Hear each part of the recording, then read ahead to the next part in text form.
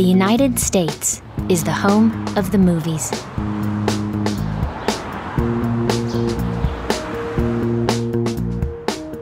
American filmmakers produce thousands of movies here in Hollywood.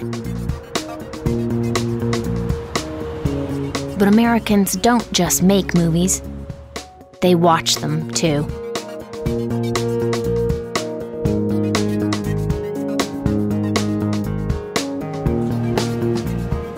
Today, there are almost 6,000 movie theaters in the US. There are huge movie theaters and small movie theaters. And they show all kinds of movies. Over the last century, movie theaters have changed dramatically. This movie theater in Williamsburg, New York, looks like it hasn't changed since the 1920s. Nitehawk Cinema combines the best of modern and classic cinema.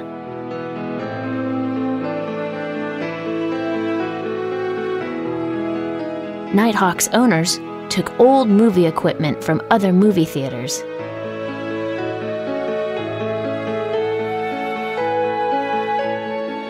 And they beautifully recreated an old fashioned lobby. Ticket booth and theater. The theater still shows old movies, too.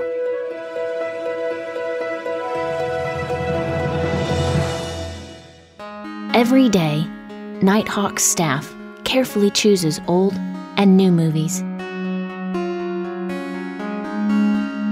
They show some movies on 35mm film. Movie theaters have used this kind of film for over a century. Nitehawk also shows modern digital films. And they sell movies on DVD.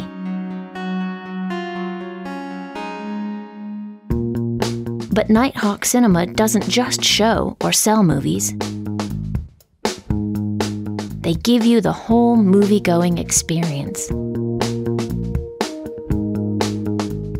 Have you ever eaten in a movie theater? No?